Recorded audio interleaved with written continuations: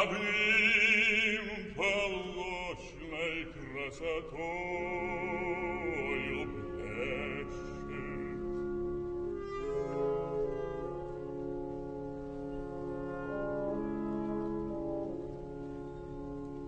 Что ж сердце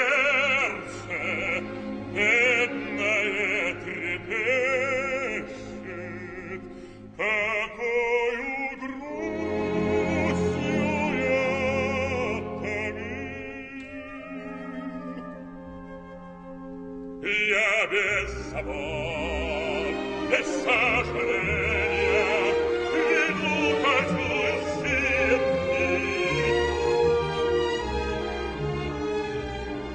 Presrie a poe pressi scenie, lavor in pace cacani, lavor in pace cacani, Io gil de Cristo vai a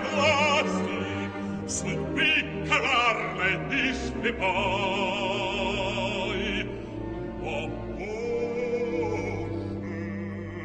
cachi graio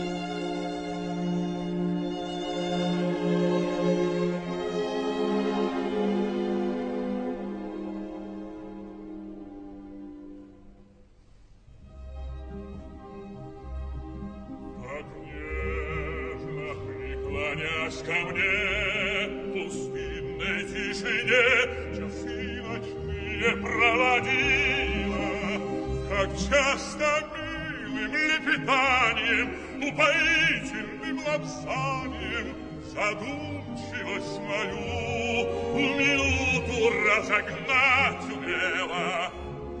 Я помню снега и полной страсти.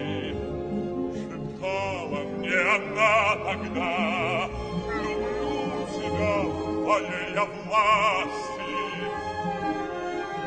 Твоя Олега навсегда.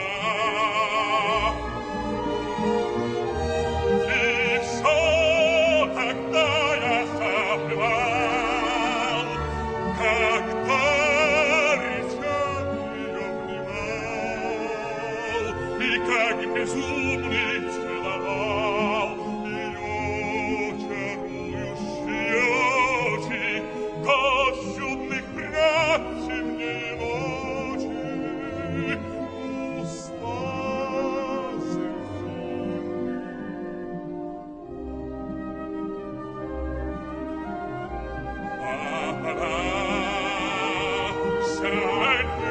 Geist, Gott, dir Allah,